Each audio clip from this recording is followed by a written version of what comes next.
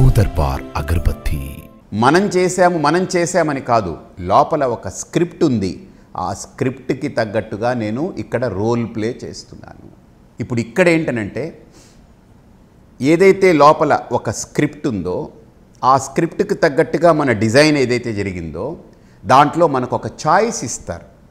ఏమిటా చాయిస్ అని అంటే ఒరే అబ్బాయి నీ యొక్క కర్మలో ఒకవేళ నీ కర్మలో లోపాలు ఉన్నట్లయితే నీ మనస్సులోనో నీ బుద్ధిలోనో నీ అవయవాల్లోనో నీ శరీరంలోనో నీ మాటలోనో ఎందులోనో లోపాలు వస్తుంటాయి కానీ నువ్వు కొద్దిగా ప్రయత్నం చేసి ఆ లోపాల్ని అధిగమించడానికి నువ్వు సాధన చెయ్యాలి నువ్వు ప్రయత్నం చెయ్యాలి. అదే పురుషార్థము అని స్పష్టంగా చెప్తున్నారు.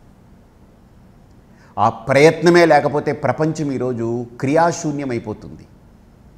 గుర్తుపెట్టుకోండి నా గత ఈ జన్మకి గత కర్మ ఎలాగైతే కారణమో నేను గత జన్మలో చేసుకున్న కర్మ ఎలాగైతే ఈ జన్మకి కారణమైందో ఇప్పుడు ఈ జన్మల్లో కూడా నేను కర్మలు చేస్తూ పోతున్నానుగా ఈ కర్మలు రాబోయే జన్మకి కారణాలు అవుతున్నాయి అవే బీజాలు అవుతున్నాయి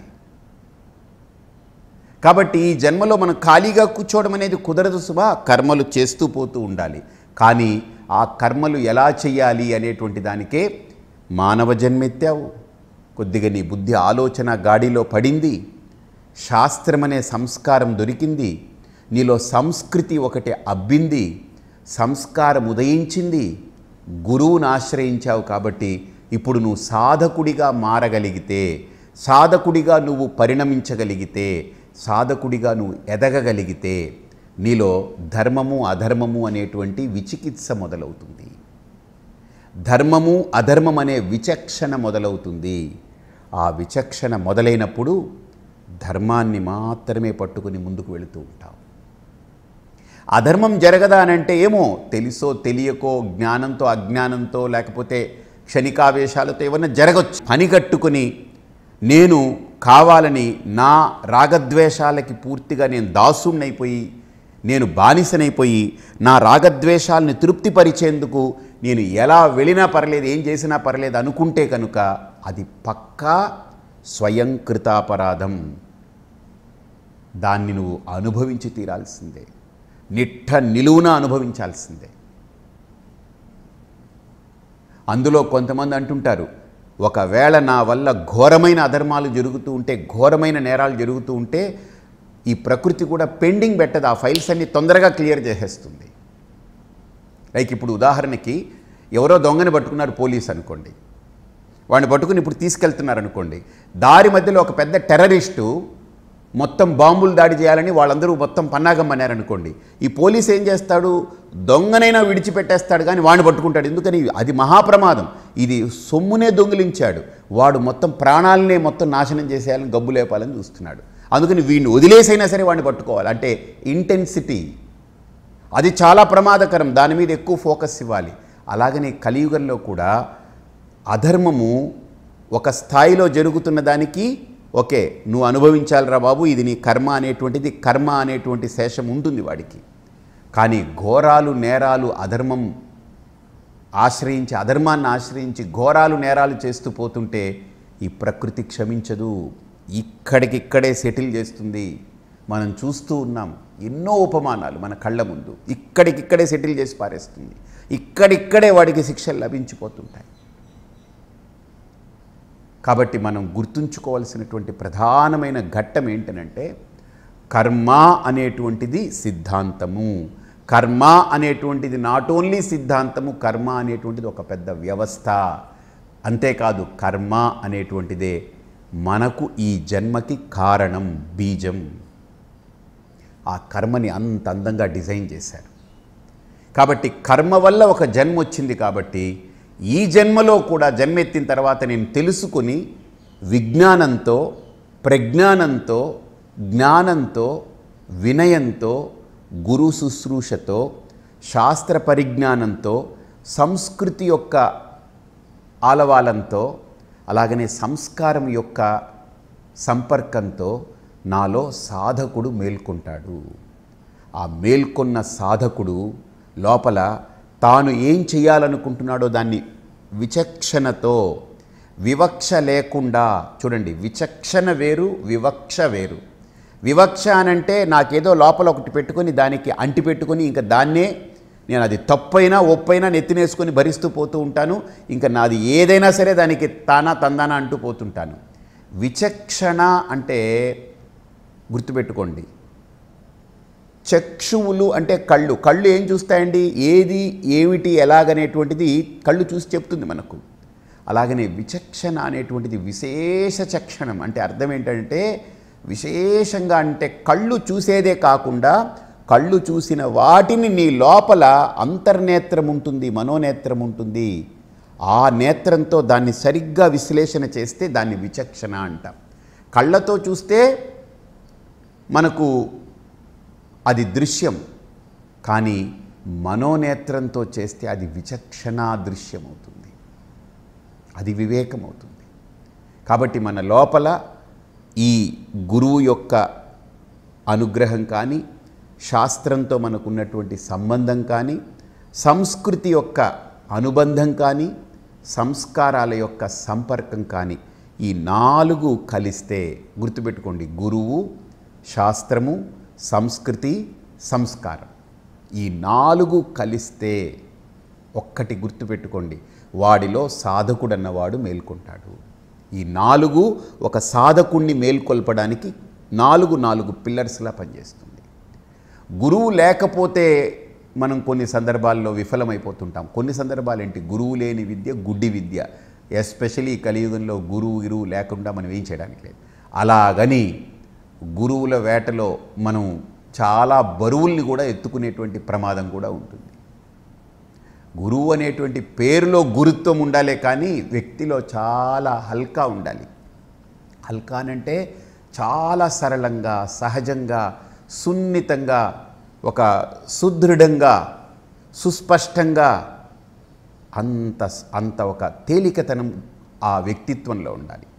గురువు అనేటువంటి శబ్దంలో గురుత్వం ఉంది బరువు ఉంది. కానీ వ్యక్తిలో ఏ బరువులు ఉండవు. వాడు ఏ బరువులు ఎత్తుకోడు నెత్తి మీద. అన్నిట్లో ఉంటాడు కానీ ఏది తనది కాదంటట్టు ఉంటాడు. మయితే తేషు చాప్యహం. నచమత్స్థాని భూతాని. బాగా చూడండి. అసలు కృష్ణుడు అన్నటువంటి ఆ వాక్యం ఎంత గొప్ప వాక్యం అని అంటే మనం అనుభూతి పొందొచ్చు. ప్రతి అడుగు మనం అనుభూతి పొందొచ్చు. అన్నిట్లోనూ ఉండొచ్చు మనం. అన్ని వ్యవస్థల్ని నడిపించవచ్చు సమాజాన్ని నడిపించవచ్చు వ్యవస్థల్ని నడిపించవచ్చు వ్యక్తుల్ని నడిపించవచ్చు కుటుంబాన్ని పోషించవచ్చు సంసారంలోనూ ఉండొచ్చు. మన వ్యవహారము చేయొచ్చు. అన్నిట్లోనూ ఉండొచ్చు. కానీ నేను మాత్రం నాకేదీ లేదు. ఏమంటే అది సాధ్యమంటారా? కుదురుతుందంటారా? ఎస్ అది తప్పక సాధ్యం. నువ్వు ఎన్నిట్లో అన్నా ఉండు. జిస్ హాల్ మే జిస్ వేష్ మే జిస్ దేశ్ మే రాహో. జిస్ రంగ్ మే జిస్ సంగ్ మే జిస్ ఢంగ్ మే రాహో. నువ్వు ఎక్కడైనా ఉండు ఏ స్థితిలో అయినా ఉండు ఏ అవస్థలతో అయినా ఉండు. ఎటువంటి వ్యవస్థలతో అయినా ఉండు. ఎక్కడున్నా ఎలా ఉన్నా సరే ఏది నీ స్థితిని నీ యొక్క వ్యక్తిత్వాన్ని దిగజార్చకుండా నీ ఔన్నత్యాన్ని పెంచుతూ నీ ఔచిత్యాన్ని పెంచుతూ నీ ఔదార్యాన్ని పెంచుతూ నిన్ను ఒక ఒక సమృద్ధమైనటువంటి సంపూర్ణమైనటువంటి ఇన్ఫ్యాక్ట్ చెప్పాలంటే పరిపూర్ణమైన ఒక వ్యక్తిత్వంగా నిన్ను నిలబెట్టడానికి ఈ సాధన ఆధ్యాత్మిక సాధన ఒక్కటే దానికి కారణం. ఇది తప్ప ఈ భూమి మీద వేరే మార్గం లేదు. నాణ్య పంథ అయనాయ విద్యతే. నేను బయట కానీ లోపల కానీ బయట అంటే ఈ ప్రపంచంలో కానీ లోపల అంటే నా ఆత్మలోకంలో కానీ గుర్తుపెట్టుకోండి. బయట అనాత్మలోకంలో కానీ లోపల ఆత్మలోకంలో కానీ నా స్వాధీనంలో నేను ఉండడానికి నా నేను స్వతంత్రుణ్ణై ఉండడానికి నేను పరిపూర్ణమైనటువంటి శక్తితో నేను ఉండడానికి అసలు ఆనందంగా ఉండడానికి ప్రశాంతంగా ఉండడానికి ఆధ్యాత్మిక సాధన ఒక్కటే దానికి ప్రాతిపదిక. ఆధ్యాత్మిక సాధన లేకపోతే నువ్వు సాధకుడివి కాకపోతే నీలో సాధకుడు మేల్కోకపోతే ఆ స్థితి రాదు. నువ్వు ఏదైనా సాధిస్తూ ఉండొచ్చు బయట నో డౌట్ లేకపోతే ఇక్కడ కూడా నేను పూజలు చేస్తున్నాను జపాలు చేస్తున్నాను ఇవన్నీ నడుస్తూ ఉంటాయి. పూజలు చేయడం జపం చేయడం ఇవన్నీ ఆధ్యాత్మికత కాదండి. ఆధ్యాత్మికత అనేది వేరు. నీ మీద నువ్వు చేసుకునే సాధన. భక్తి అని అంటే దేవుడి మీద చేసే సాధన. దేవుణ్ణి సాధించడం. దేవుణ్ణి పూర్తిగా రాచి రంపాన పెట్టడం అది. అంటే ఈరోజు చెప్పుకుంటున్నటువంటి ఈరోజు చూస్తున్నటువంటి భక్తి. ఏంటంటే వాడి దగ్గరికి వెళ్ళి కూర్చుని నాకు ఇది కావాలి నాకు అది కావాలి నాకు ఇలా ఉండాలి నాకు అలా ఉండాలి నాకు ఇది తెచ్చిపెట్టు నాకు అది తెచ్చిపెట్టి నాడు ముందు కూర్చుని పెద్ద పచారీ లిస్టు చదువుతూ పోవడమే ఈరోజు మనం చేసేది. కాబట్టి భక్తి అని అంటే అది కాదు.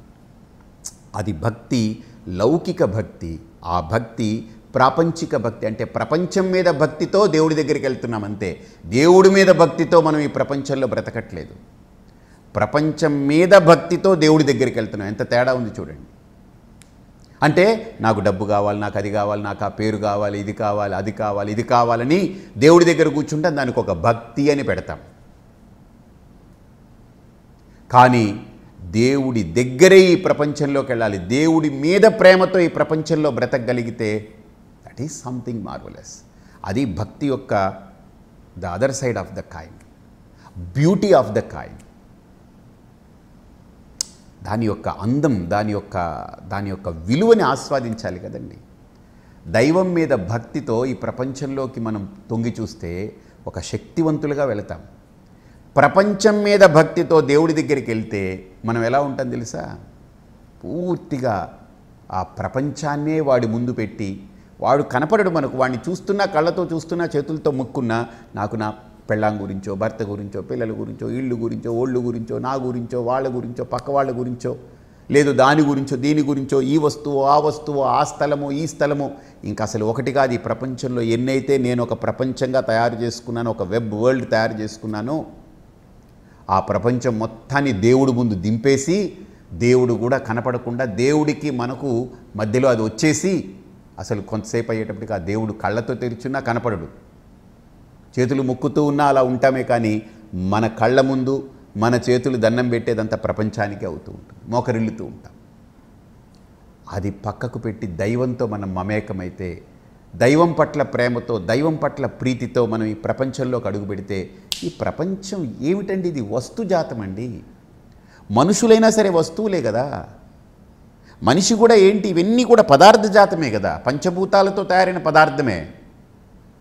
ఒక గిన్ని ఒక మట్టి కుండ లేకపోతే ఒక రాయి నీళ్ళు లేకపోతే చెట్టు పుట్ట గుట్ట మట్టి ఇవన్నీ ఎలాగైతే పదార్థాలో ఇది కూడా పదార్థమే కదండి ఇందులో కూడా అవే కదా ఉన్నాయి.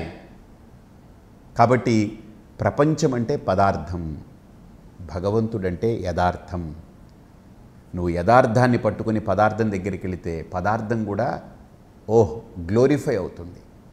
పదార్థాన్ని పట్టుకుని యథార్థం దగ్గరికి వెళితే యథార్థం కూడా మురిగిపోతుంది. అందుకనే మనము దైవానికి దగ్గరయ్యి దైవ భక్తితో దైవం పట్ల ప్రీతితో దైవానికి చేరువైతే ఆ వ్యక్తి ప్రపంచంలో తిరిగేటప్పుడు అసలు వాడి యొక్క ఆనందమే చిద్విలాసమే వేరుగా ఉంటుంది. వాడు ప్రపంచంలో తిరుగుతున్నా వాడికి ప్రపంచమంతా కూడా వాడికి ఒక ఒక రకమైన ఆనందంగా కనపడుతుంటుంది. నిజంగా సాధన మొదలు పెట్టండి నేను నాకు వీలైనన్ని కోణాల్లో నుంచి మీకు చెప్తూ ఉన్నాను. సాధన చేద్దాం మనం. ఖచ్చితంగా నేను కొన్ని సాధన క్యాంప్స్ లాగా క్లాసెస్ లాగా ప్లాన్ చేస్తాను. ఈవెన్ చిన్నపిల్లలకు కూడా మనం నేర్పాల్సినవి చాలా ఉన్నాయండి. చాలా విలువలు మన వాళ్ళు నేర్పేవాళ్ళు. అసలు ఆ పిల్లల యొక్క నిర్మాణము శిశువుల యొక్క నిర్మాణం మన భారతీయ వ్యవస్థలో ఒక అద్భుతమైన వ్యవస్థ అది. దానికి ప్రత్యేకంగా ఇంకొన్ని విషయాల్ని మరికొన్ని అంశాలని మనం చూద్దాం. రేపు మరికొన్ని విశేషాలతోటి మనం ఈ కార్యక్రమాన్ని కొనసాగిద్దాం. మనము లోపల మనల్ని మనం ఆ సాధకుడిగా మేలుకున్న తర్వాత బయట ఎన్ని ఉన్నా అవి ఏవి మనల్ని అంటకుండా మనం అన్నిట్లో ఉండి అన్నిటినీ సాధించుకుంటూ నిర్వహించుకుంటూ నేను నా స్థితిలో ఉండడానికి ఎలాగా కుదురుతుంది అనేటువంటి అంశం మీద రేపు మనం తెలుసుకుందాం. స్వస్తి.